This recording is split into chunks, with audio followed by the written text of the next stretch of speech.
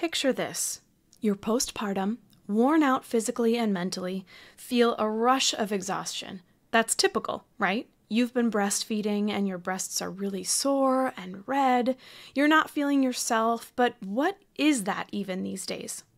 Then all of a sudden, you decide to take a shower, hoping it'll refresh you. When out of nowhere, you faint on the floor of the shower. For Mama Katie Willy from Melbourne, Australia, this was a reality. She had developed a severe case of infectious mastitis in less than 24 hours, and she was not prepared for what she'd experience. Mastitis is an inflammatory condition of the lobes of the breast, and it can develop to be infectious, but this doesn't always occur. Many women experience it postpartum, but we are severely uneducated on what the symptoms are and what care we can receive for it. On today's episode, Dr. Katie Willy and her business partner, Dr. Elise Fuller, run a company called Your Two Jugs. Perfect, right? it's out of Melbourne, Australia, and it's their mission to find tailored solutions for your breast concern. However, if you don't live in Australia, have no fear, they do have online courses. So listen in to learn what mastitis is, how to heal from it, and ways that you can look for signs for mastitis postpartum. You're listening to the Mamas in Training podcast, giving aspiring and expecting mamas guidance and community from moms who've been there. I am your host, Jessica Lorian, and I'm not yet a mom. An autoimmune disease has delayed my motherhood journey, so I've made it my mission, while I heal, to learn right alongside you all about motherhood. So together, we can be as prepared as possible, even for something as painful as mastitis. So here is Katie and Elise to teach you more. I'm Elise and I'm Katie, and we're from Your Two Jugs. So my baby was three weeks old at the time. I'd had a lot of trouble breastfeeding him. I had a lot of trouble latching him, like waking up in the night to feed the baby and trying to latch for an hour and getting totally anxiety ridden just just trying to do that. And if I latched him not trying to move so that so that the baby would stay latched. And he he fortunately was putting on a lot of weight anyway. I had heaps of milk um and that baby was growing really really well but the the anxiety of trying to breastfeed a baby when you obviously have to do it every two to three hours when they're so small and your day being dictated by this anxiety it was quite quite harrowing at times. And by two weeks my husband was like i've had enough of this. We're, we're getting someone to come in in the morning. I, I can't you can't go on like this. So we found a lactation consultant and she came out and she said, You're not doing anything wrong and he's not doing anything wrong. Try this nipple shield. And I did that, and the baby latched quite well. And I was so excited. I thought, Oh, th- thank goodness I've got a solution, at least for now. So it was the latch. It was that, that part where people say when the baby's born, you latch the baby, you feed the baby. So you know this process but the process doesn't seem to work for you. So although you know what you're meant to do, no matter what you're trying, it's it's just too much. It's not working for whatever reason. You just feel like a failure because you know that there's other girls out there and you, you hear it because they're your friends and you've seen it like mm. with your sister four times that she was able to feed her babies. So you know that it exists and your mum's, um, my mum was very supportive of, of the whole scenario. Everyone was very supportive. So I was not being told to stop or anything like that. Um, I did at one stage get told by a family member, you know, you can stop if you want to. I just had such a drive to breastfeed that baby. And yeah, it was really affecting me. But I really wanted to do it and I really wanted to get through whatever this period was. I hoped it was a period of time and that I would come out mm. the other side and be able to feed the baby. So she just quickly looked at what we were doing together and said, I, I think you're I think you're okay and I think he's okay she said it's like a jigsaw puzzle that's just not fitting together right now. He was quite a small faced baby. He had quite a little mouth, and my boobs were huge. Like they, They were really like just right out there. So um, she just felt like we weren't right now a very good fit for each other, but she was quite positive that he would grow into it. So that was that was the scenario of getting the nipple shield. And then a week later from that, after doing quite well, like I felt quite positive about that and certainly less stressed. Um, and I woke up in the middle of the night with a pain, a stabbing pain in my left breast. By morning, it was it was really quite sore and I just kept doing what I just thought I was engorged because I'd had so much milk and I'd had troubles with engorgement. And then it kept getting worse. And we went for a walk and I'd have to stop for this pain because it was so intense. And then a friend came over in the afternoon and we are sitting and talking. She came to see the baby. And I ended up in the shower because I was just all of a sudden just went so downhill. I was just really sick really quick. To be fair, it was probably about 11 hours of it brewing mm. and passed out in the shower. And my husband was trying to help me in the shower. And my girlfriend that was visiting, he just said, Oh, Bridget, can you please take care of the baby? I've got to help Katie. Um, so she, yeah, she just took care of the baby until we could get out of the shower. So that was the start of the acknowledgement of the mastitis side of it. And that was clearly a case of a mastitis infection. So there's two different sorts of mastitis. And the infection one is is always has more severe symptoms. So that night, well, I was meant to go to my mum's house for a dinner to see an uncle who lives um, on the other side of Australia, and uh, which is a long way. So we hadn't seen him for a while, and I couldn't get out of bed. Like I, I couldn't hold the baby. My the pain in the breast. When mastitis goes bad, it goes really bad. It is, it's got to be. I'm. I can't think of anything more painful that I've ever had. It is unrelenting and there's nothing you can do to avoid it in terms of like you're stuck in it until it goes away. So mm. walking around the house, the jolting, like even if you walk softly, the jolting from your foot landing on the floor would stab through my breast. It was really, really stressful. Um, and then, as mastitis does, the milk supply drops, which is really normal. If you get sick, your body can't deal with creating milk as well. So you then end up in this scenario of stress because you realize that your milk supply has dropped and you've still got this baby. On the Monday, I went to the GP and the GP said, Are you getting better? And I kind of toughed it through and said, Oh, I think so, when actually I was probably really sick. And so I didn't get the care I probably needed. And part of it would have been my naivety that I said I was probably okay. Mm-hmm. Um, but in fact, I ended up on another course of antibiotics and then, funnily enough, had mastitis the following Friday in the other breast as well, but not nearly oh, as bad gosh. a case. Um, so that was the inflammatory mastitis, which is the other sort, which is the most common one that we see.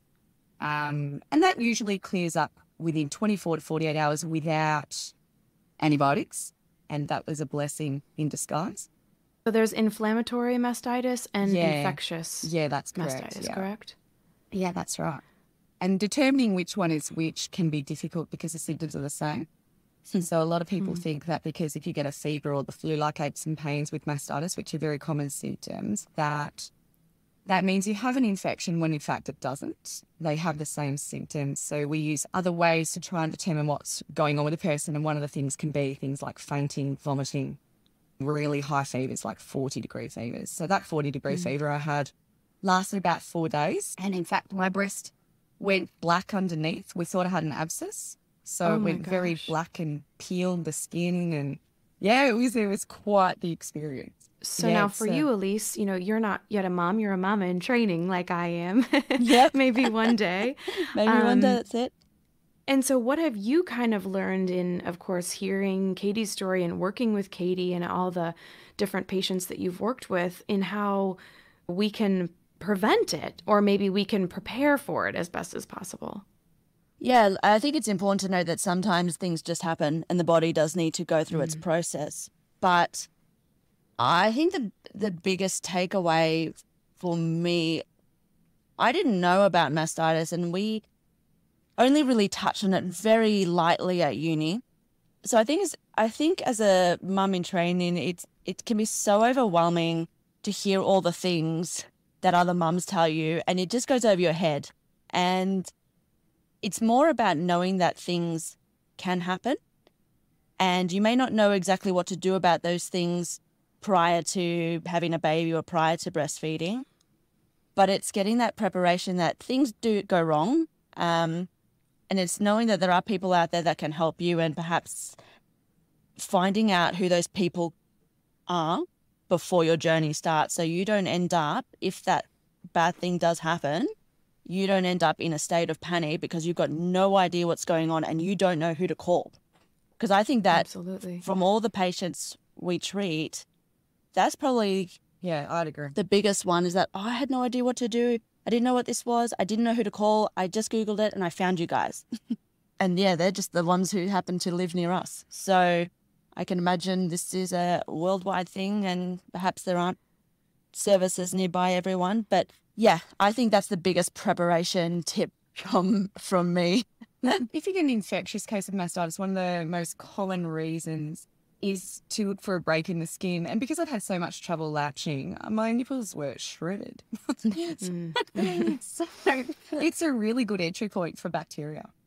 Which is why it is really important. Like all the things that the LCs, the lactation consultants say, all that advice about mastitis that you see on Google, about get the latch right, all of those things, they are super important. There's more to the story, but those those small small things that are big things, um, those things are really important to get right to work on preventing mastitis. That's absolutely true because then you do drain the breast better.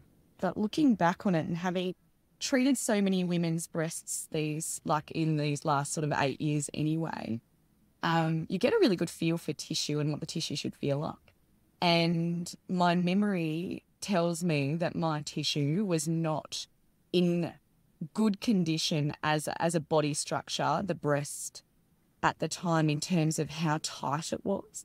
So there's a there's a suppleness and a tightness to breast tissue. So I think that was one of the things that made it more challenging for me and made it more challenging to get rid of the engorgement.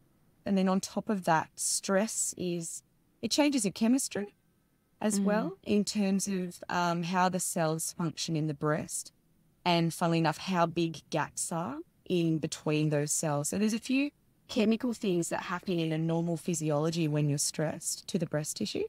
So I think that would have had a compounding factor towards this as well. And we've seen that plenty in clinic when we ask women, Oh, how have you been? Like, because we obviously check in. A lot of these people come to us early in their breastfeeding career and they're really overwhelmed. And sometimes there's other things going on in the background and the the journey into motherhood isn't always smooth and mm. when people get tired it's really hard. I absolutely loved that you just called it a breastfeeding career because it is. I don't even know if you did that on purpose, but it totally is a career. It's a job that Yeah. we're Yeah. working to Full-time. perfect. yeah, and it's full time Yeah. job. And Yeah. man, I I love that so much. So, what would be some things? I guess you mentioned that there would be some things that we could do to prevent small and then you know bigger one thing that comes to my mind is like so say we're starting off on our journey and we do have those cracked or god forbid shredded nipples like you mentioned you know what can we do painting a good picture. isn't it? Yeah. well, well hey we, I just you know but loosely. no we need no no we need to know me. that it could be that bad Oh, it can be. Um, and, and a lot of the times it's not. So don't expect it to happen. It's not something that has to happen. Mhm. Um, Right. It's something that often happens. But but we see plenty of women that have a really good latch and still get mastitis. Mhm. So it, it's not the only reason. There's lots of factors Yeah. with with shredded nipple, shall we say? Um, And I think on that, as- it's if you do have things that don't feel right, don't brush them off as this could be normal. If it doesn't, you know your body better than anyone else in the world. So if you feel like something isn't sitting right, um, I mean, breastfeeding is a learning experience for both mum and bub, particularly if it's your 1st time. And I think that's an important key too, because we can often just hear, oh, it's going to be painful. Oh, it's going to be awful. And so uh, we almost would have pushed certain symptoms aside because we've heard that it's supposed to be this terrible, horrible, really painful Yeah. thing. yeah.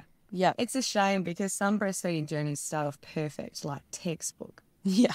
Mm. and you might be that person that gets a textbook journey, that never gets mastitis, that never gets a blocked duct, that just sails through it and thinks, wow. And these people that get that and still don't like breastfeeding, and these people that don't get that, like me, that are just so determined to do it that you just put up with whatever. But one of the things that we have noted in our work is when we're trying to work out the recurrent cases of mastitis. So there's there's women that end up. I had two cases, but I, I mean, although that's called recurrent, it was all in the same episode in a way to me. So I think I had kind of one sort of ten day bout of things, and then I never got it again. Um, but then we see some women who get it repeatedly. And when we say repeatedly, I did a reel the other day and I said something like third, fourth, 5th Mm-hmm. You know, we get women that DM us that go, I'm on my 10th bout. I've had antibiotics. I've, Wow. what do I do? So there's, that tells us that there's something going on in the background. And unfortunately, breasts are seen as milk making structures. Um, and the interesting thing anatomically is if we think about it, they were there before the milk making. So your breast had life before you actually made milk. That milk making, all the milk making structures actually developed through pregnancy due to hormonal control. And mm. so we need to think bigger. We were discussing the other day an idea of foreground and background of the breast. The foreground being the milk making lobes and ducts and, and those structures. The background being the tissue that it sits in, like the house that it lives in. So there's lots of connective tissue, there's fat layers, there's blood vessels, there's lymphatic vessels which clear out inflammatory fluid and clear and infection. Um, so there's a lot more to a breast and where its connections are because it connects into our our neck lines in fascia, into our arms, into our diaphragm. And all of this stuff gets pushed aside for the milk making. And in in our world, in clinic, that's a mistake because we find so many cases of this recurrent mastitis that we find all the issues in the structure and the tensions being held in the breast. So hmm. it's it's absolutely a bigger picture than a breast making milk. Now, what type of symptoms do you see that differ from maybe typical postpartum symptoms that we might experience? Because that could be another thing we could maybe brush off our tiredness or whatever as just, oh, we're not getting sleep and we're postpartum. I, I I think when it comes to fatigue, I think fatigue's the hardest one because everyone's like, "Oh, I'm tired all the time. My baby's up all night." Um, when you're ill, the fatigue is like, It's next uh, level. yeah, like a truck's hit you. Like you can't get off the couch. Like you can't get out of bed. You have to go back to bed. Um, It's like a flu. yeah, it's like the flu. Mm. Um, if you feel like you've got the flu, that's not postpartum symptoms. And you should look for Yeah. pain in your breast and you should look for colours in your breast, whether you're getting a pink spot in your breast or a I mean, women miss this. Like they Mm. come in and they'll say, Oh, I was really sick and then I noticed this red patch. So it can come in terms of mastitis, it can come in varying setups. So sometimes you get the flu like symptoms first and sometimes you get the breast pain first Mm. for the breast colouring, the red. Some of the things that we notice pre-partum when we actually ask questions of women are things like do you consider your posture like what's your posture like because a lot of women or a lot of people they just have this forward posture so if there's things you can do to improve your posture that actually helps with breastfeeding and anything to do hmm. with motherhood is curled over forwards. You're either hmm. changing a baby or you're picking up a baby or you're trying to get a baby into a car or you're breastfeeding and they all end up in this very forward head carriage, curled up sort of posture. And that actually impacts the breast drainage of fluids quite significantly, whether it's milk lymphatics or good health from blood flow. We talk about that all the time. Let's work on breast health. And it's almost like these these diagnoses of blocked ducts and engorgement and mastitis seem to supersede the overriding picture of breast health. Breast health is where we what we can do and then all the other things that can happen to us um, will will stem from how healthy we were in the first place. So, yeah, it, it's a it's a tricky one in one regard, but there's definitely things you can do to manipulate your breast with your hands to to set your tissue up to be less vulnerable is probably a better way to put it. We have a we have a heap of different techniques that we use that we've developed over the course of the years, many different techniques to teach women how to take the stress out of breast tissue and how to mass all, all different conditions require different styles of massage. Um, so we've we've worked out different ways to massage each condition, looking at what's the background, what's that background in the breast in terms of its structure, and so how can we impact that? And the best thing you can kind of do for yourself whilst pregnant, or even prior to that, even, um, is to know what your breast tissue feels like when it's normal. Mm.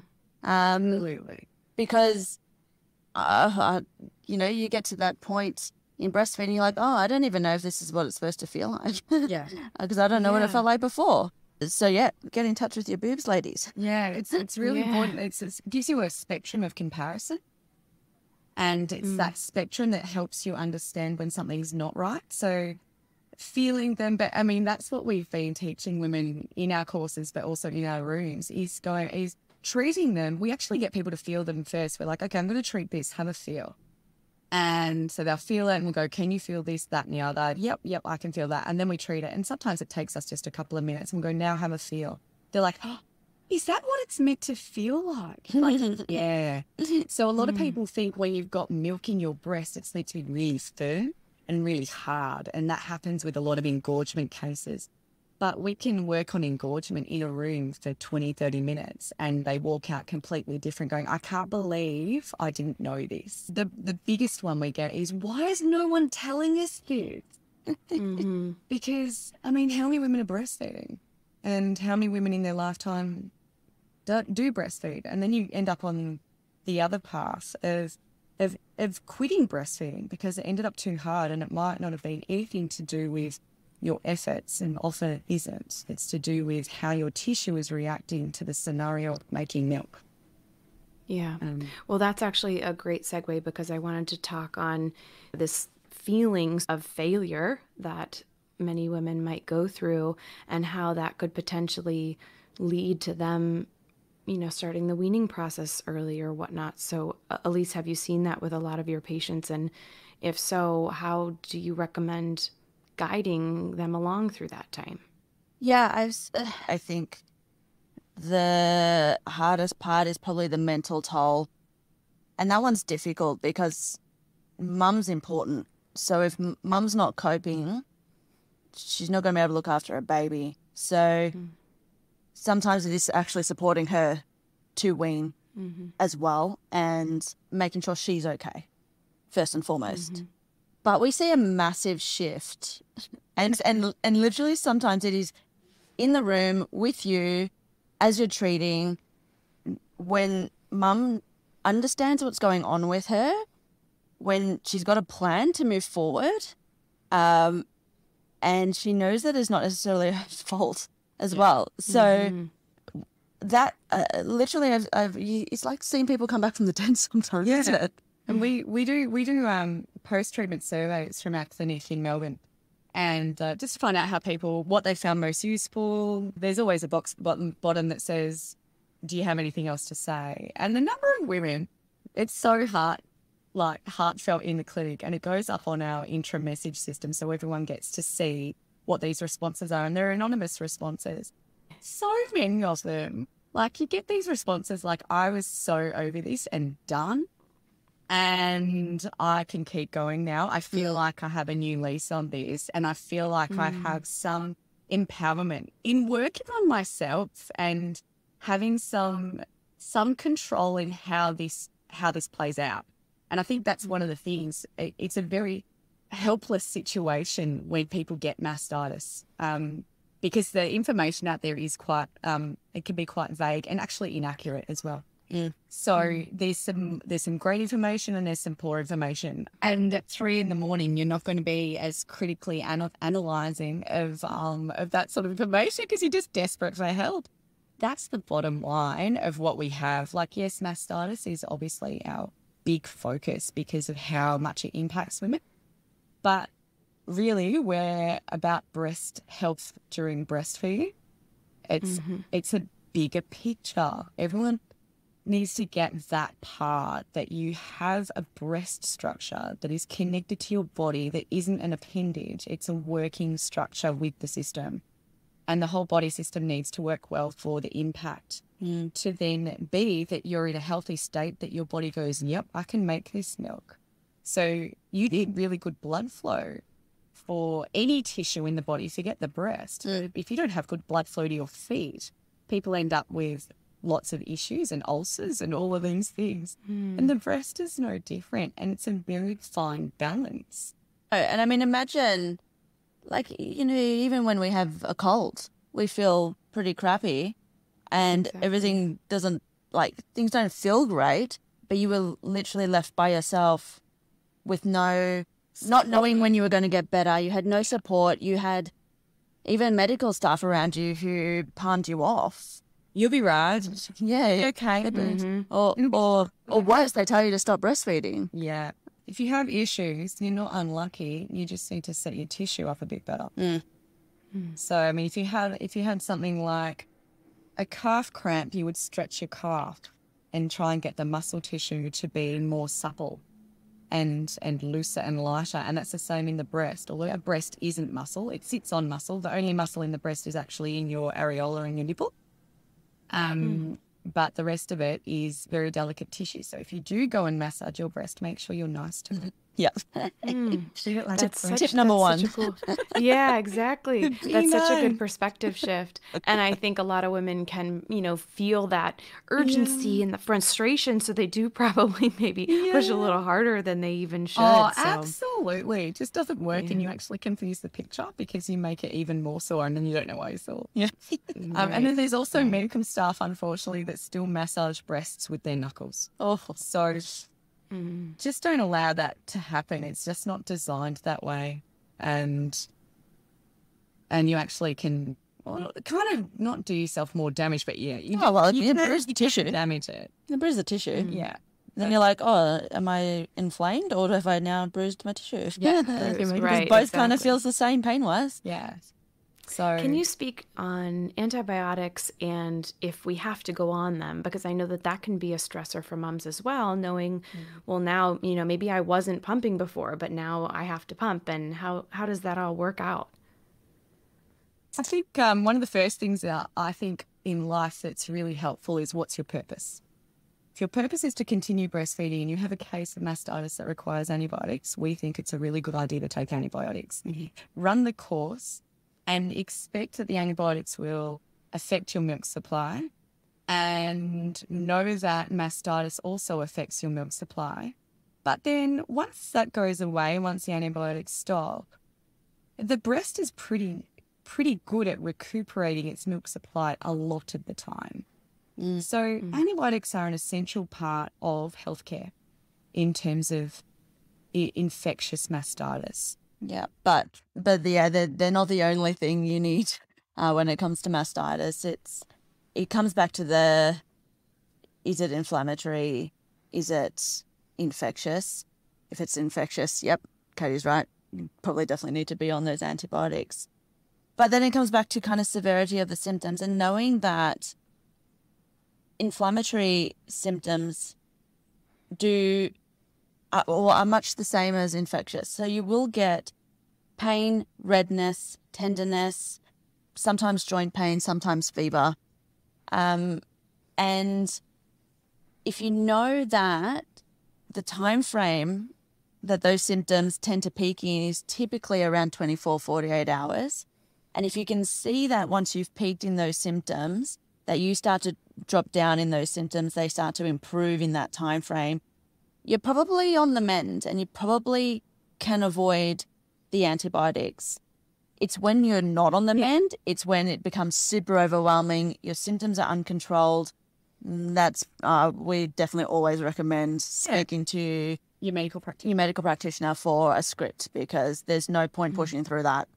The thing about it, though, the other part of it is antibiotics are great at um, if you have an infection, obviously, because they're going to help kill the infection, help your body that way. The thing about antibiotics, though, the thing it doesn't do is it doesn't drain the tissue. So mastitis is an inflammatory or an infection outside your duct system. So you have like lobes that are like little balls that make the milk, and then you have a duct system. So it's kind of like tree roots. But it's outside of that system that the mastitis is. So a lot of women sit there and go, I'll just massage, I'll, I'll massage this, but I'll massage it towards the nipple. It's not going to work because it's not in that system, it's out of that. Mm-hmm. So you need to mm-hmm. massage away from the nipple. That's something that we talk about all the time. Just as a basic mastitis treatment, you mm-hmm. massage away from the nipple, not towards it. It may have started with a blocked duct that can definitely cause mastitis because it forms like a, if you think of like a river that gets dammed. So they put a dam wall in behind it, that kind of your blocked duct. And so that, that water from the river has to spread in, spread out into tissue. Um, And that's what mastitis does it, but it goes outside that system. Yeah, so the antibiotics, yep, they'll clear the infection, but they won't clear the fluid. That's the inflammation. And um, so it is a kind of a Multifaceted yes approach. Yeah, Exactly. to solve Exactly. there is more than one thing you can do, basically. Yes. that. Absolutely. And and the massage side of it is un, unfortunately underdone in many medical circles because um, a lot of these things have been medicalized rather than looking at what's going on in the tissue. And there's some different types of techniques to break down that that lumpy tissue because unfortunately that lumpy tissue now has a vulnerability area if you don't get rid of it. So often women get mastitis in the same spot because the tissue's not right. What I love that you both have created over at Your Two Jugs is it's really these tailored solutions and, and you say that you guys are all about solutions for each individual person and so often the medical field can just be oh here's a script here's this here's that so can you share with everybody if we're not fortunate enough to be in melbourne and and be close enough to see you all in person how can people get some help from you all Yeah, so I'll. It was basically the pandemic that pushed us to do this, wasn't it? So um, um, some pros came out of the pandemic. exactly Um, yeah, we we did realize that not everyone can come to see us in Melbourne, and mastitis is not uh, just a Melbourne-based problem. yeah So, Poorly managed, honestly. yep, globally. It's, it's poorly managed. We get so many women internationally asking us questions. So we put basically every technique that we've ever taught anyone who walks through our doors. Um, we filmed them on video. We put them into a course, um, and we called it Boobology. Um, study of boobs. Uh, so yeah, we we've So we've good. we've split them up into the different, the most common conditions that you're probably going to get through your breastfeeding journey, which is uh, mastitis, engorgement, and blocked ducts. Um, but we we also took the care to put that education in it as well. We want mums to know that it is an about the anatomy, it is about the physiology of your breast. We've made it pretty basic, hopefully, uh, for everyone to understand. Um, we put that in the course. We we also address um, posture as well. Yeah, there's a mama's posture Mm. part so that you can look for. So the whole thing with the course was how do we give people, because obviously we can't see everybody and time zones and all of these things. So we were like, how do we put this together that no matter what you've got, you can look at our stuff and apply it to yourself? Mm-hmm. And so that's where the engorgement mastitis blocked duct stuff came into it. Like, okay, we've really got to address those three things. And then we have a gamut of preventative techniques which we use. So we threw that into a recurrent issues and prevention strategy module. Um, because that part is that's the bee's knees in terms of if you've got recurrent issues, you just got to understand that it's not you and it's not that you're doing something wrong. There's something going wrong in the tissue. It's vulnerable. And so once that balance is a little bit upset, you end up with a problem. So we need more give in the tissue. We need to be able to have our tissue absorb a little bit more stress before it goes pear shaped. And then we've got other things like a video on antibiotics and, and mastitis when it's useful, when it's not. Was basically okay, if we can't see you, Yeah. how can we give you a plan? So every every part has a plan, what you're going to do, how often you're going to use a strategy, and what you're going to look for as to which part of the flow chart you go down. Mhm. And then we also put together we put together one called the blooming boob, which was which is for pregnancy. So the boob is Mama's in training. Yep, So- exactly. and and that is about preparation of the breast tissue. Mm. It's quite Mm. short, but Yeah, that's it's, what you want. it's the heads up, isn't it? Yeah. That's what we did it for. We just like for this exact And, and got people holding their breast and Yep. touching their breast Right. and learning Get to know your about breast. Comfortable with it. differences between the left and the right. Like, Yep. can you find differences? Because they shouldn't Mm. be there. Right. So, yeah, just giving people, I think, some sort of framework to assess themselves and then treat themselves. And you can do it. We teach people all the time. The feedback we get on on our courses is, "Oh my goodness, I could do this." I I personally have best friend who developed mastitis and she just felt so lost and oh, like a failure and frustrated. And so for us to have a place to go for this is just so necessary. And the links to you and those courses will be in the show notes so people can easily access them. And i'm really excited too that you have an option for the mamas in training for the aspiring or pregnant women because i think that's kind of the number one takeaway if anything is That's the place before you start. get there mm-hmm. yeah Yes. just get comfortable with yourself Yeah, and understand the tissue. And it it really isn't a blob. It's not a Right. blob on the front of you. And you can determine things. And the more you touch it, this is what our career is built on touching tissue. And the more you, tissue you touch, the easier it is for you to assess. So Mhm. you get to know what things feel like, what they can feel like. You get different areas, and you just end up with a picture in your mind of, oh, that's not right. That wasn't the way that was before I was breastfeeding. I can feel that that's different. Mm. So we've also, like, just recently, we ended up doing one called Mastitis Rescue as well. So that is like the super short course on if you get mastitis, here's what you do right. right now. Yes, Yeah. this is what you need. Are you right in panic mode? This is for you. Right. We Blast it that you're in panic mode so that you can yes just start and have the right guidance from the get go. To wrap us up, what would you say to someone who might be either thinking that they're going through the start of mastitis or they're in the thick of it? Don't massage hard. Mm-hmm. Keep draining the breast, like they say, but you don't have to do that a thousand times a day, which is also said. People get mm. told drain, drain, drain, drain. Just stick to your normal routine. Make sure the milk is coming out.